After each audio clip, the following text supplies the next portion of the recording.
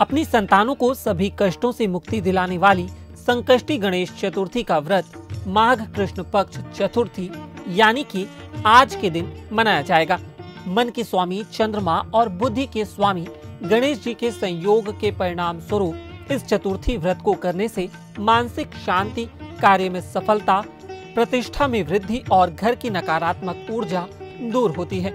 इस दिन किया गया व्रत और पूजा पाठ परिवार में सुख और शांति लेकर आता है। इस दिन कुछ उपायों को करने से रिद्धि सिद्धि के दाता गणेश जी आप पर प्रसन्न होते हैं। तो कौन से हैं ये उपाय?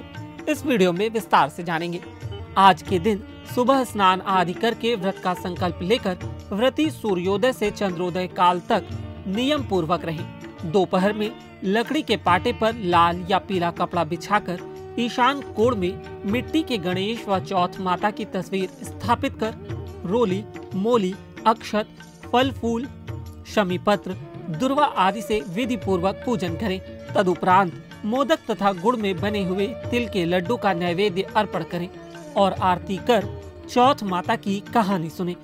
महिलाएँ कहानी सुनने के बाद सूर्य देव को तांबे के लोटे में लाल चंदन, लाल पुष्प, चावल, तिल और गुड़ डालकर ओम घृणी सूर्याय नमः बोलकर अर्घ दें।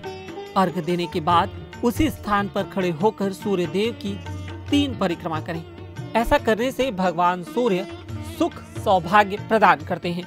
इसके उपरांत सायंकाल में चंद्रोदय होने पर लोटे में शुद्ध जल भरकर उसमें लाल चंदन, कुश, पुष्प, अक्षत आदि डालकर चंद्रमा को इस मंत्र के साथ अर्घ्य दें। इस मंत्र का अर्थ होता है गगन रूपी समुद्र के माणिक्य चंद्रमा। दक्ष कन्या रोहिणी के प्रियतम गणेश के प्रतिबिंब। आप मेरा दिया हुआ यह अर्घ्य स्वीकार कीजिए। चंद्रमा को यह दिव्य तथा पापनाशक अर्घ्य देकर परिवार की कुशलता की प्रार्थना करें। शास्त्रों के अनुसार इस दिन गुड़ और तिल का तिलकुटा बनाकर उसे दान करना चाहिए। व्रत करने वालों के लिए यदि संभव हो तो दस महादान जिसमें अन्नदान, नमक का दान, गुड़ का दान स्वर्ण दान तिल का दान, वस्त्र का दान गौघृत का दान, रत्नों का दान, चांदी का दान और दसवां शक्कर का दान करें। ऐसा करके प्राणी दुख, दारिद्र्य, कर्ज, रोग और अपमान के विष से मुक्ति पा सकता है। आज के दिन गाय और हाथी को गुड़ खिलाने से अकाल मृत्यु का भय नहीं रहता। संकष्टी चतुर्थी के दिन विद्यार्थी ओम गंग गणपतये नमः का 108 बार जप करके प्रखर बुद्धि उच्च शिक्षा और गणेश जी की कृपा पा सकते हैं। ओम एक दंताय विघ्नहे वक्रतुंडाय धीमहि तन्नो दंति प्रचोदया।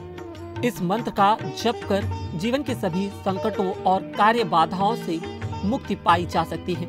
अगर आपको यह जानकारी पसंद आई तो हमारे फेसबुक पेज पर लाइक करें और यूट्यूब पर सब्सक्राइब करें। शुक्रिया।